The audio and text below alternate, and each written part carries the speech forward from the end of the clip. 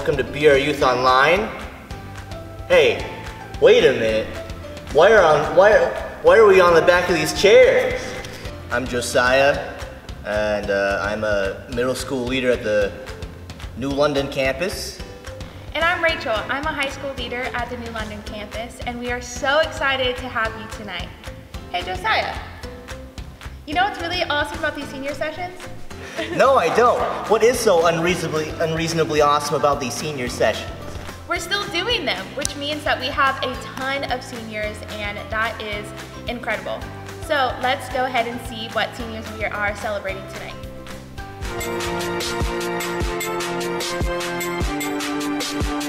My name is Jordan Evans. I'm 18 and I'm graduating from Brookville High School. I started uh, when I was actually able to be on the AMP team in kids stuff and that really started my journey. I didn't realize at the time like there's other ways to worship than just through scripture and and so that was just the dancing and singing was a whole nother part and that really brought me closer and then I gave my life to Christ uh, in middle school. I am going to Liberty University after graduating and I will be studying interdisciplinary studies with a focus in interior design. To value myself more. I think during this I've learned that um, I don't need to rely on people and I don't always have to be the first one to talk to someone just to catch up and stuff. Sometimes just being by myself and listening to myself is more important. Uh, for the future, I'm looking forward to just making new friends at college um, and just the whole college experience. Enjoy it. I mean, so many people want to get out of high school and graduate, and I know many of us wanted to graduate really fast, but now we got ours taken away. So just enjoy it. Um, I'm JC Daniel, I'm 17, and I'm graduating from Brookville High School. I came to Blue Ridge when I was in kindergarten or first grade and once I got into second grade um, I joined the AMP team and um, I just really fell in love with worshiping and having my love for Christ, uh, pouring it out on the stage. And um, when I was about seven or eight is when I gave my life to Christ and so um, after graduation, I'm going to CVCC for two years and then transferring to Liberty. Um, but while I'm at CVCC, I am going to be dual enrolled with Liberty, so I'm going to be taking a couple classes here and there at both schools. My dream job when I started high school was a pediatrician. um, the dream now, um, I'm really planning on being a graphic designer, but also I really love performing, so being on Broadway or something one day would be really cool too. I guess I could just say my mom. She's kind of just, she's kind of like my best friend. She's been there through everything she's always my shoulder to cry on no matter what. And she gives really good advice, so take more chances and not try to stick myself to one thing.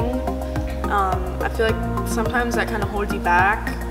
Definitely to be yourself no matter what and take any chance that you can get, no matter what it is, no matter if you think you'll like it or not. Sometimes you might like it. It's okay if you don't like it too.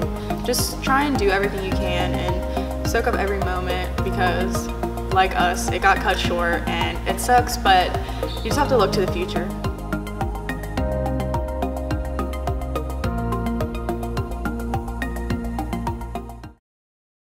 Seems so crazy that that was just me last year. Congrats, guys. So tonight, we're in week four of our distorted series. Now try and guess what these distorted objects are.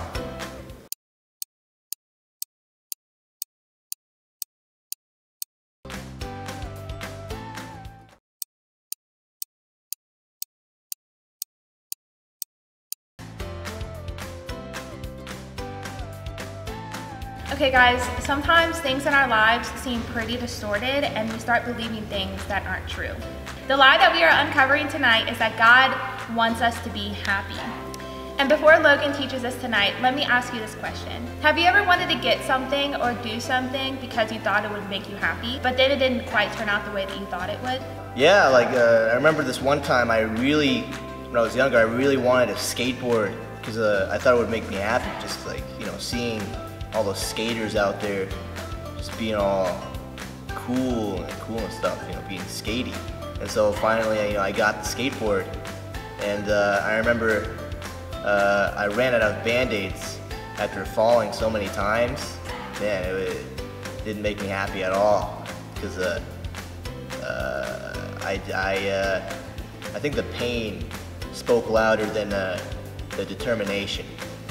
Man, sorry Josiah, it'd be like that sometimes. okay guys, so now we're gonna take a look at Jordan's story of a time in his life when uh, he thought that something would make him very happy was actually dramatically different on the other side. April 13th, 2019. It was a Saturday morning. I went to the church to help clean up, if you will. Just, you know, as part of going to the uh, Big Stuff camp that summer. who's required of us. So I went there. I was thinking like, yo, this is gonna be good. I can't wait. You know, maybe I'll even meet some new people. It's gonna be fun. Um, and actually, I met a girl. So over the next couple weeks, we start to get to know each other. That you know, everything was going good. Everything was going good. Well, we have a school play coming up. I just asked her, hey, do you want to go to the school play with me? And she said yes. And you know, we go. But something feels a little off. I'm like, hmm. You know, I, I had like big expectations. I was thinking like, all right, this is the American dream, baby. I'm about to, you know, make myself happy. Let's go. I was all pumped. Um, but by the end of the night, I was like, that, that was weird. Um, and then next day, I run into her. She hits me with the classic, Jordan, we need to talk. And I was like, I mean, do I even need to tell you what she said? Because, I mean, come on, it's pretty obvious, but, you know, I'll do it anyways just to educate the people out there who don't get it. Um, she gave me the classic, I think we should be friends talk. Um, mildly disappointing because, you know, like I said, I was all pumped up, uh, backfired, I was disappointed. Man. Basically, the point of this story is you should not go looking for happiness in worldly things because it just it fails you and you know we do it constantly i do it constantly because it's just so human you know at the end of the day it kind of just backfires i mean at least for me it did You're not good enough. You need to lose weight. You need to have perfect grades. You need to be in a relationship to have worth. Nobody loves you. Truth? What is true? You're going to feel like this forever. You're going to struggle with What do I know to be true?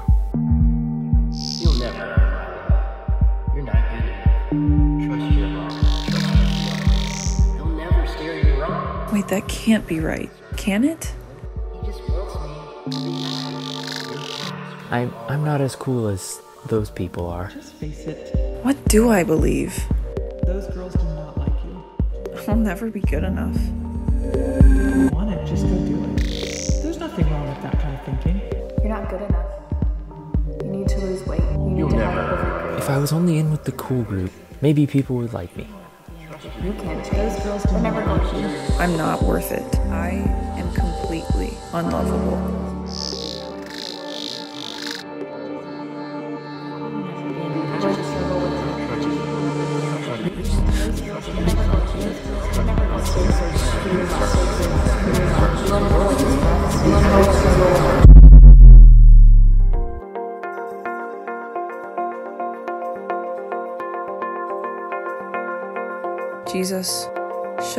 Truth.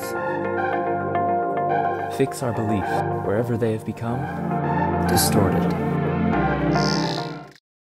Hey, what's up, guys? My name is Logan. I have the pleasure of being one of the teachers here at BR Youth. Uh, if you were tuning in to my talk a few weeks ago, don't worry, I'm not going to sit there and smack my lips for a minute again because that was torture for you, that was torture for me. I am never going to do that again, so don't worry. But what I am going to do is we're going to continue in our series Distorted. And and through this series what we've been doing is been looking at common lies that Christians believe and then we've been comparing that with what the truth of God's word says. And so tonight what we're going to be looking at is what I think is really one of the most important lies that we could break down and it's also one of the most prevalent lies that we hear. And uh, but, but before we get there, I want to say I, I feel a little sorry for the class of 2020 because uh, one of the key, one of the my favorite moments in high school was when uh, when I got to graduate. Cause I was like, all right, finally I get to get out of here. This place sucks. I'm just kidding. High school was great, uh, but no, I really enjoyed graduation because uh, you know it, it was uh, it was a time where the whole class was together and we got to celebrate high school and, and everything like that. And uh, I know for the 2020, it's not gonna be so much like that. And maybe I'm hitting a sore spot, or maybe you're happy that you don't have to sit through an hour and a half graduation ceremony. But either way, I want to say I, I had a blast at graduation. And one of the, the key elements of any graduation is the valedictorian speech, right? It's the, you know, the smartest kid uh, in the class gets up there and they develop and, they deliver this speech. And uh, most of the time it follows a pretty predictable pattern. For how many high schools there are in the country, nine times out of ten, the speech is pretty similar. And it, it goes something like, hey, you know, uh, thank you to the school, thank you to the teachers, thank you to the parents who got us here. And then the, the speaker kind of addresses his classmates, his or her classmates, and they say, and they say something along the lines of, you know, hey, shoot for the stars, and uh, don't let anyone tell you no, and uh, and pursue your dreams, and most importantly, most importantly, do whatever makes you happy. And that is a statement that we hear a lot of. That is, or a version of it. It gets repeated in pop culture by celebrities and, and in movies. You know, Disney movies are famous for that. Like, hey, you know, pursue what makes you happy. Uh, and, in books or and, and it even goes into our own Declaration of Independence, where in the in the Declaration of Independence it says that we believe that all humans have the right of the pursuit of happiness. And, uh, and so it's become so ingrained into American culture that we even call it the American dream. And to me, that's a little conceited because it's like to be happy is the American dream. Like no one else in the world can be happy besides Americans, which of course is not true at all. But, uh, you know, we, we our whole culture is designed to pursue happiness above anything else. And the church isn't immune from that at all. We hear statements like, oh, I know that God wants me to be happy. Or, or something like, as long as you're happy, you know, God's for it. And guys, that's the lie that I really want to break down tonight because I think that it's dangerous and I think that it can take away from our relationship with God and, and that idea that God wants me to be happy. And the reason that it's a lie is because not I mean 99.9% of the time someone says that it's just a justification for whatever you want to do. I mean, you could think of any number of things that you want to do, and all you have to say is, "Oh, well, I know that God wants me to be happy," and oh, look at that! Now I'm allowed to do that.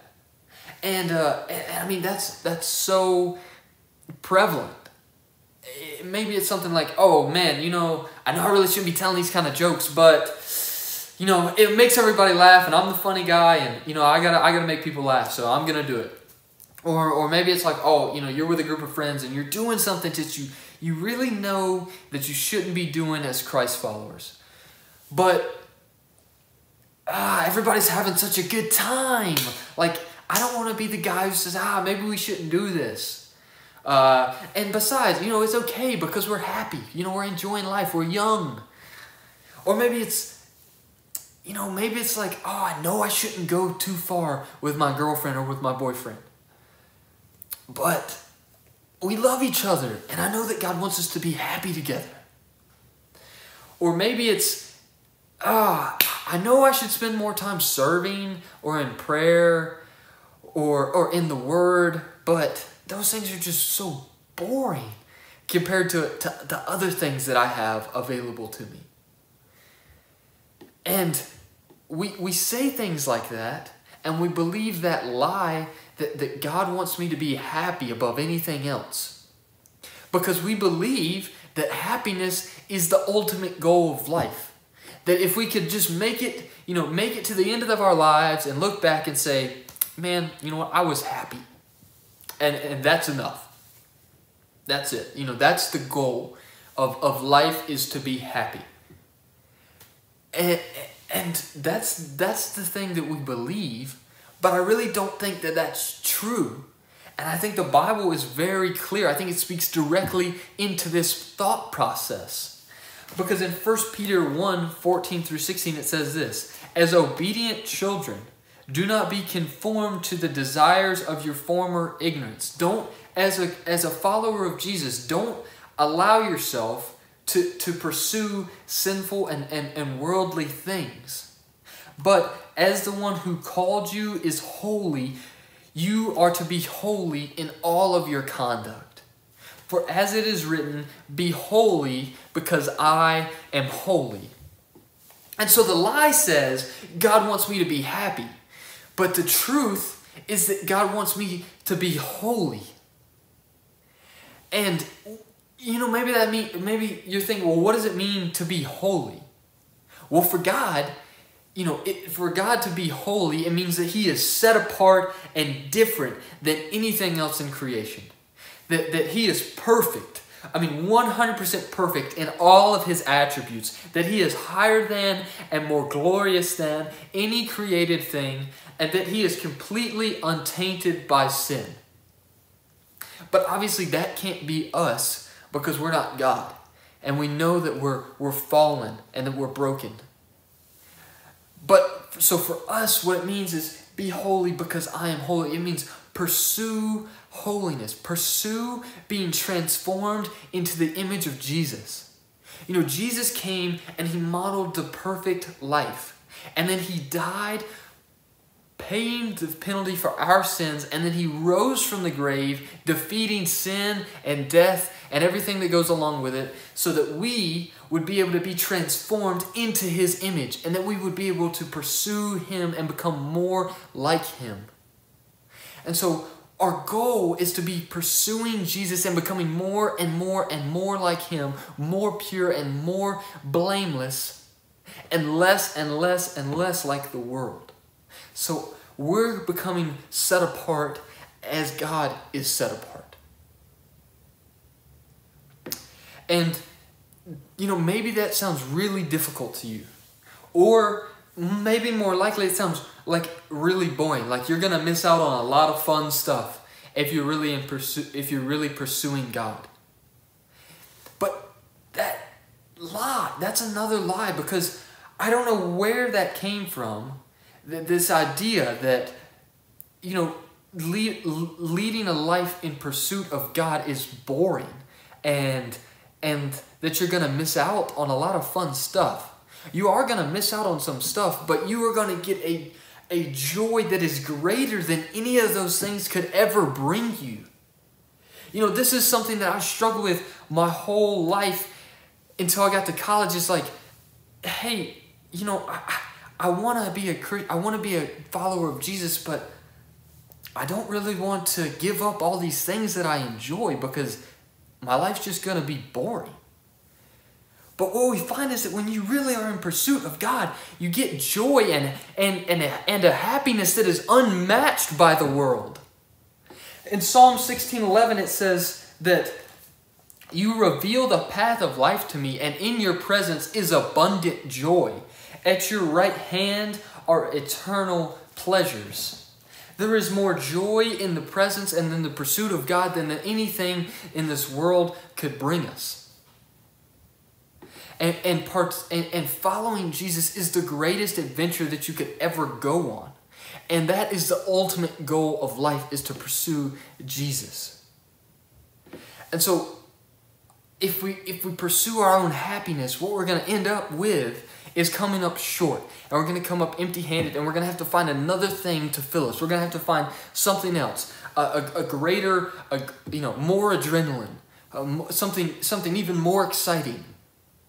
But when we follow Jesus, then we find that on our way to the presence of God that we get a joy that never diminishes, that it only grows as we grow closer and closer and closer to God. And so man, I don't know where you guys are at with this right now.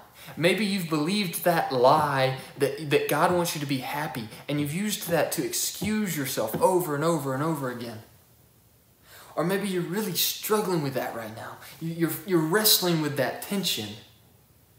But wherever you are, what I want to do right now is go into a time of worship where we can sit and reflect on where we're at. Because what we're going to do is we're going to sing a song that we haven't sung before, and it's called The Secret Place. And it's all about pursuing God and the joy of being in God's presence. And so, as we're listening to that, I want you guys to reflect on a couple questions. Number one, what is the ultimate goal of your life? What's the ultimate goal of my life? Is it to pursue my own happiness or my own dreams, or is it to pursue God? Number two, where does my joy come from? Is my ultimate joy and satisfaction found in, God? Or is it found in material things and, and, and, and popularity and the latest, greatest invention to come out? And number three, what would it look like for me to seek God above anything else? I mean, really, weigh that in your mind. What would you have to give up? And what would you gain? Think about those things. Reflect on those things. And do it while you're listening to this song. So let's do that now.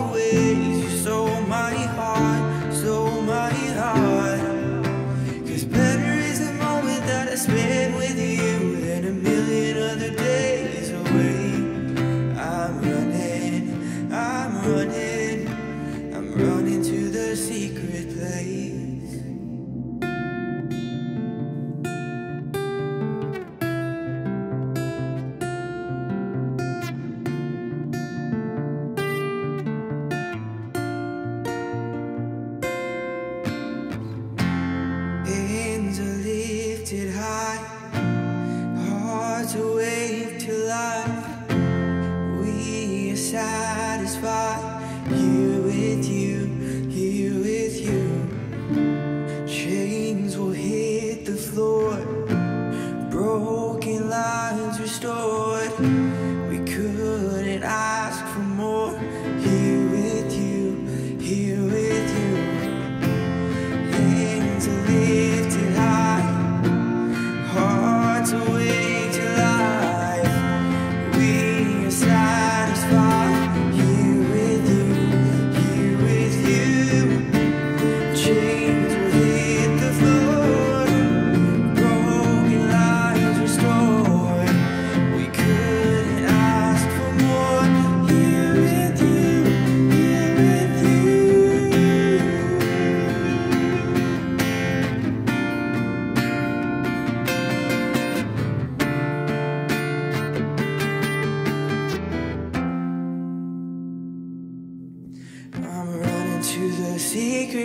place where you are, where you are. I'll sing to